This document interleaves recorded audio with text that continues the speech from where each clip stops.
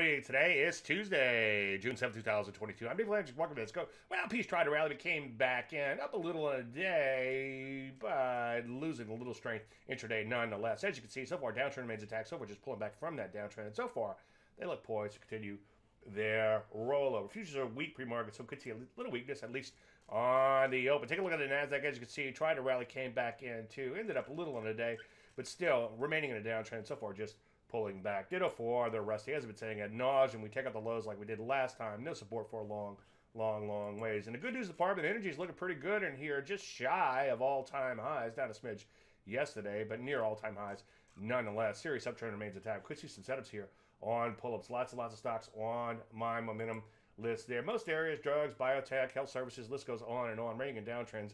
And a lot of them actually sold off a little bit yesterday, as you can see. So what do we do? Well, the song remains the same. Once again, uh, continue to look to short these weaker areas that have pulled back, and on the long side, wait for a pullback in the energies. Any questions? As usual, Dave, I'm Dave Landry. You should have marked that